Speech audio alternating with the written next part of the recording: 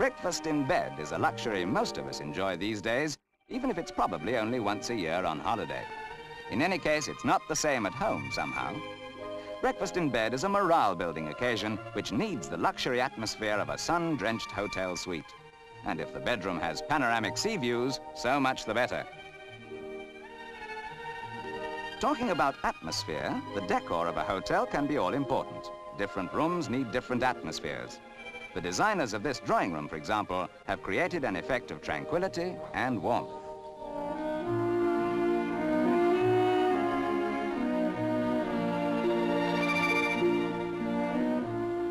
This atmosphere is particularly noteworthy because we're really on board the first floating hotel, the 33,000-ton Transvaal Castle, which operates from England to South Africa and back.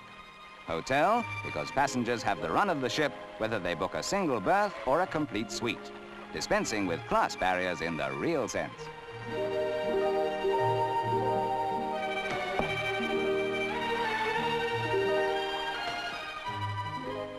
The 6,000-mile voyage from Southampton to Cape Town takes 13 and a half days, which of course is a holiday in itself.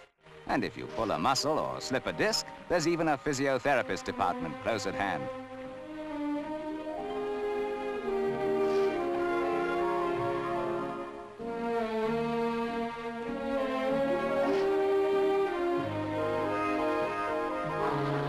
Away from the maddening traffic jams of home, one welcomes the sight of another ship of the line, although passengers who prefer complete isolation can just pretend not to see her.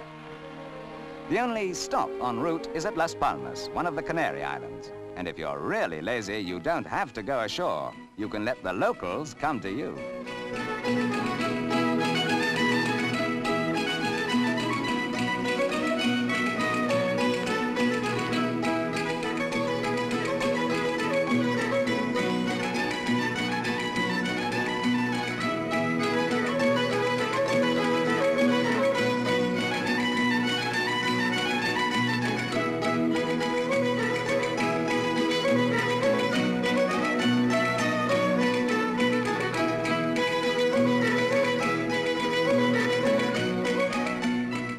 Having already mentioned the different moods created by the design team, here's something quite unique.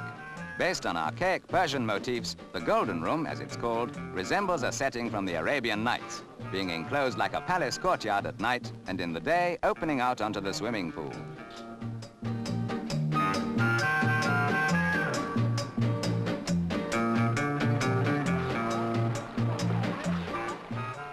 Actually, in some respects, the modern liner is more like a small town than a hotel.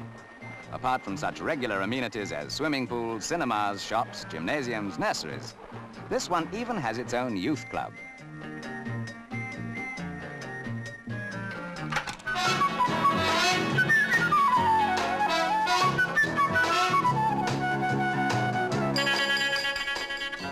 Such healthy competition these days between air and shipping lines, it's not surprising that the standards of travel have gone up in leaps and bounds.